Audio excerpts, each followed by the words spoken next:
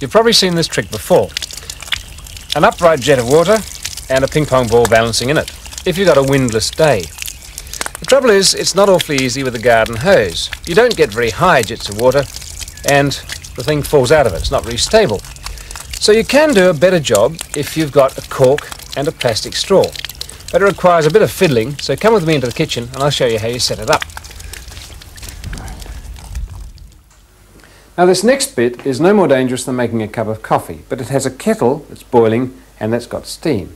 So get an adult to help you. The other thing you'll need is one of these straws. It's hard and it's rigid. It's the sort that doesn't go soft in a hot drink. We're going to make it go soft in the steam of a kettle. Keep your fingers well away and hold the middle of the straw over that spout where the steam gets it. That'll soften the plastic and we want to move it up and down to get a good length softened. Now as it softens you can bring the ends together, don't go too fast or else you'll kink it and then the water can't get through. You notice it's bowing gently and we want to do that until the ends come together. Don't race it or you get a kink and you have to start again. Slowly all the way around and once the ends are together hold them there until they're cool. You can imprison its ends if you like while it's cooling. And while it is cooling, we'll do the cork. Here we are, that's a new one, but you can use one that's uh, out of a bottle if you want to, just as long as it's going to be a tight fit in an outside tap. And you probably have to shape it with a file. Here we go. That can take a while. It's quicker with sandpaper. But at any event, you want to end up with this sort of shape. It's a conical shape, and I know that that's going to fit inside a tap. At this stage, get yourself something like a file or uh, a sharp point of metal anyway, and drill a hole all the way down from the middle of one end to try and make it the middle of the other. If you go a bit skew with, it won't matter.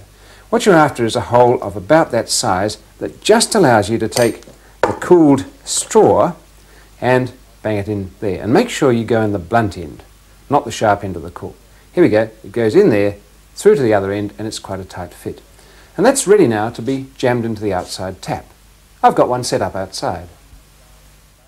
I've really rammed that cork in there so it's uh, a good tight fit.